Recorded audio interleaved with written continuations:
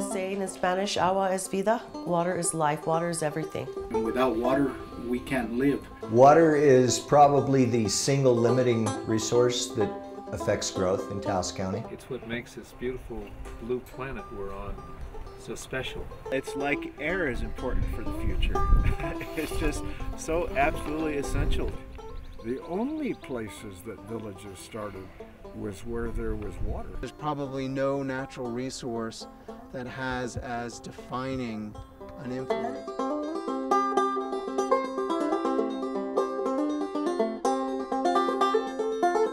The water, the acequia, and the community are uh, are approaching the same definition. Here, water is uh, is actually the essence of our community. We're in one of the uh, oldest settled areas in the United States, and it's been settled based on water.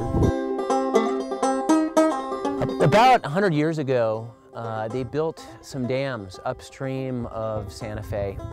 So up in those hills, back there, they've got some dams that the city built so that they could have water for their water supply.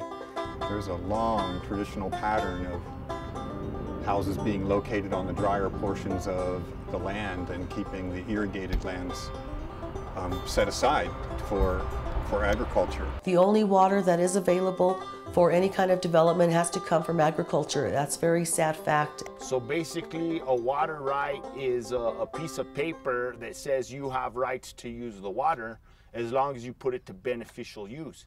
You have the town of Taos, you have Taos Pueblo, you have the El Prado Water and Sanitation Districts, you have uh, 55 acequias in this area and 12 mutual domestic water associations, all of which have water rights. First in time, first in right, which means the Native Americans were here first and used the water first, so they have first uh, access to the water. The Acequias were here second in history, so then they get uh, second use to the water in the priority system, and then everyone else is third. A lot of people who own water rights say, I think, you know, water should be pretty much free for everybody. But when they sell their property, they want to get paid the amount of money that their water, works, water rights are worth with respect to the property. We believe that acequias are, like you said, they are the local governments and they are actually the first governments in New Mexico. Before we had mayors and governors, we had acequias. It has a lot to do with uh, politics and money. A, a fellow once told me that water doesn't flow downhill, it flows towards money. If you're kind of like an economist or a, or a banker or a Wall Street type of person, well, water is absolutely a commodity. The part of me that's not in business where, where I consider water to be a, a commodity that should be for sale if you want it to be. If, if you have the uh, use right of water rights, you should be able to buy them, sell them according to the market. The, the other part of me, the average citizen part of me, wants all the water rights to stay agricultural. As long as there's a market incentive um, or profit to be made from taking control or ownership of water and then reselling it to the communities or the residential areas that have a need, a growing need for it or expectation of it, um, then there will be constant pressure to take more and more water out of its natural location and out of its natural role. Part of the state engineer's office is to maintain compliance with those compacts, make sure we're, we're getting what we're supposed to be getting and then delivering the water that we have to deliver to other states. It's like they like to stick a straw under the state of Colorado's line there and suck a little of that water out, but you know, they have no intention of seeing any of that water, of their water become New Mexico water either. It's like we don't want our water to become Texas water. It can be hard to know this just from looking at the surface flows of rivers and streams, but they're typically fed by groundwater as well as by snowmelt and rainfall. And if you interfere or intercept um, a significant portion of the groundwater that feeds the river from underneath, you're actually going to lower and dry out that river from below. The biggest threats to our water rights are um, two things. One is uh, selling and moving of water rights off of the acequias into uh, other communities for other uses and for development as the questions were posed. Water in New Mexico has been over allocated, over appropriated, meaning there's more paper water in the offices in the state engineer's office than there are in the streams. And then land management and water management regulations, and the two are managed by different departments, by different folks, and um, they rarely are really looked at together and cohesively. There's no more water up there. It's done. There's very little, uh, basically main stem Rio Grande water available left up there. Uh, there's an area of Taos County called the Top of the World Farm or farms. And that land, agricultural land at the very northern edge of the county near Ute Mountain, has a substantial amount of water rights that are associated with the old agricultural operations there. Somebody bought it and proposed to sell those water rights after he promised that he would never sell water rights to Santa Fe. There's a number of towns that are coming after Taos's water. Uh, right now, uh, Santa Fe County uh, just passed an ordinance to try to look into the, I think it's 1,800 acre feet of water that is owned by the Top of the World Farms. I had actually talked to the town of Taos about going up there and buying those so that they would, uh, that the town would secure them for municipal use. Because had that happened, there's a well field up there, and you could have built a pipeline from that area clear down to here and picked up every community on the way down. And transfers are the big controversy. Proposals to move water like the top of the world water all the way out of Taos County down to Santa Fe to feed urban and suburban growth in Santa Fe County could have the potential to really damage our environment and to really damage or limit um, the economic future or viability of our local communities. The really potential negative thing about it is that it would have created a precedent for transferring water from the what's called the upper basin to the middle basin of the Rio Grande, which there's been kind of a, a standing informal policy against doing that because once that door is open, then it opens the door, kind of opens the floodgate to taking agricultural water rights from northern New Mexico to the urban areas of Santa Fe and Albuquerque. I think the people in the north need to really, really realize what that will do to the communities of Sunshine, Costilla, um, uh, Cerro, and Questa. Because if those waters are gone, they're gone. And we need to keep our own water in our own area because eventually we're all going to need that. As you can see, the city of Santa Fe um, has no water. The uh, city of Albuquerque has no water and so they're looking at the north for that water. And if our water is gone, what happens to us? How do we survive? One of the most important things about water in Taos County is that unlike other areas of the state where there is a pretty much free exchange of, of what's known as water rights, which are a property right to water, in Taos there's been a, an ongoing um, lawsuit for many, many years between Taos Pueblo and the rest of everybody in the valley. Well, you see the Aamodt case down there, uh, obviously uh, that involves the, what is it, the three pueblos down there, Tesuque, Pojoaque, is it Santa Clara, and um, Santa Fe County. It's a big comprehensive settlement for a lawsuit um, that has been pending in court for over 40 years. And it's another typically Western water issue where you have Indian tribal water rights at issue, you have traditional agricultural communities that have had water rights for a relatively long time, and then you have growing towns or residential development areas. The resolution of the lawsuit um, required a number of things. It required everybody who's a stakeholder with respect to water rights in the, in the near valley here in Taos to agree with the Pueblo about how they would split up water. This is water that's out there that has what's known as a paper right, but we've never been able to make it a wet water right because of this lawsuit. There's been some, you know, some pretty tough stuff that we've had to, you know, sit down and work out and get worked out. We're this close to finishing it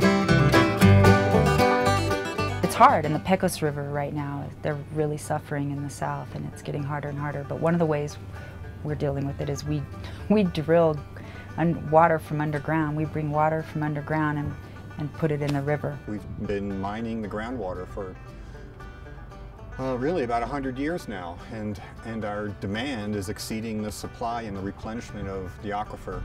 We've been trying for the last 10 years to develop a land use plan that is fair to everyone in the community.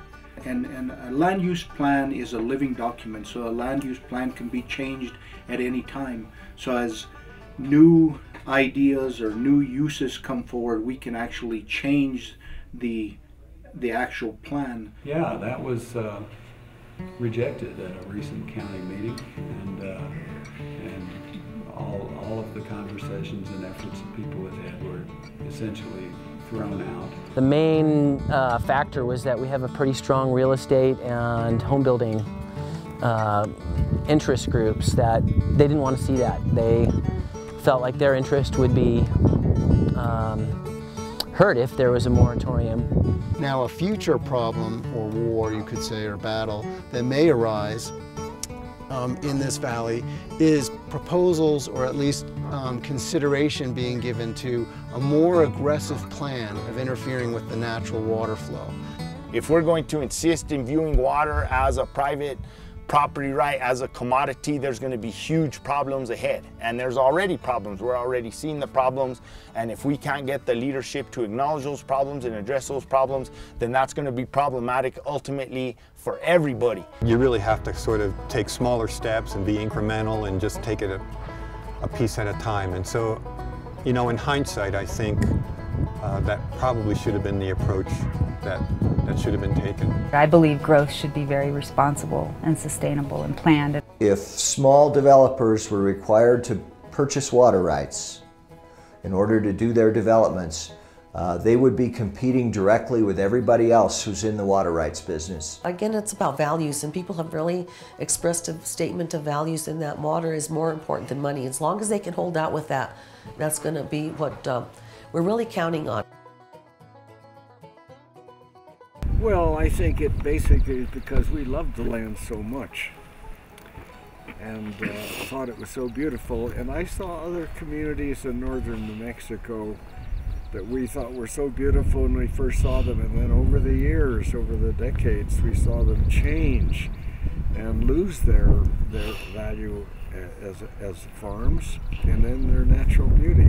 When the acequia goes dry in June, there's nobody to compensate me for my property. There's nobody to, if I don't use my million gallons, there's no, the state doesn't come in and bring me a water tank.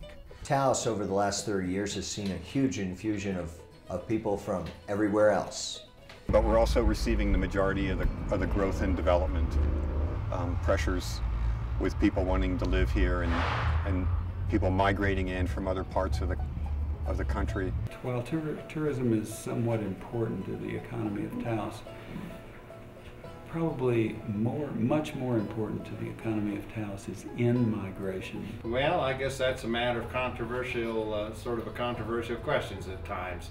Some people think it's very important and others don't like to see it.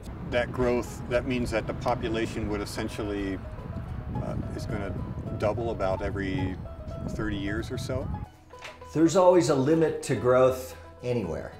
I think one of the things we're probably going to see is a decline in water availability, though. If I were to sell my water right to some developer who wanted to build a golf course, for example, then that developer could transfer my water right that was a surface water right and transfer it to a groundwater right and stick a well in the ground like a straw into a glass and, and that developer can and will take that volume of water in, in Bolinas, California in 2009 or 10, I think it was 2010, a water meter changed hands for $300,000. And in a larger community like, like Taos or like Santa Fe or Albuquerque, that kind of high price for the act for access to water would be considered a violation of human rights. There's a dollar value that developers and uh, and commodity brokers put on water. You know, and New Mexico has the highest price. In fact, Pojoaque, Tesuque has the highest price water rights in the country. We need economic growth in our community because you know young people in our community don't really have jobs that that uh, that are viable in our community. You know, most people get educations and then they move out of our community. So one of the things we have to be aware of is that we can't tell someone to say you can't develop your property. We have to protect their property rights as well we, because it's important in Taos County and, and the land is all that a lot of people have. We need to gather together and make sure that uh, we become one voice and we're heard. The future in New Mexico is water is very scarce and I think you're going to see an awful lot more competition for it over the years and there's going to be a lot more squabbling over it, unfortunately. And I think you're going to see that throughout the whole U.S. West because it's a very limited uh, commodity. And so the water wars, I think, will continue unabated forever. My brother said when I was nine, he tied me up in fishing line, threw me in the pond. One go by was gone. And I remember how they fought. You should see the fish he caught, bigger than a tank, and not even a thanks. And I cried up to the moon, and he stood up there and didn't care what I was doing, and I died a bit too soon, cry in the afternoon.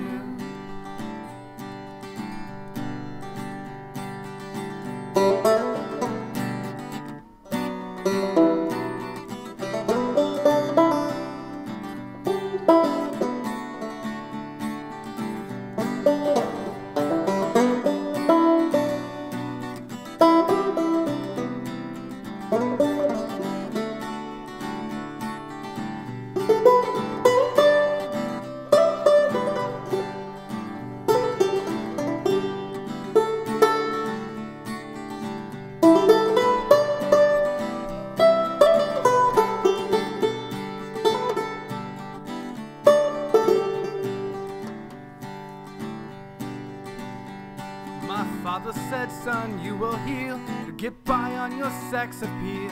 Look, I turned out fine, and I die all the time.